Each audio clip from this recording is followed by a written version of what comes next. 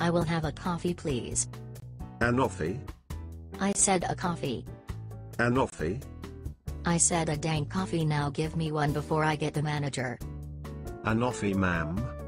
Oh my gosh I'm about to kick your butt. Excuse me?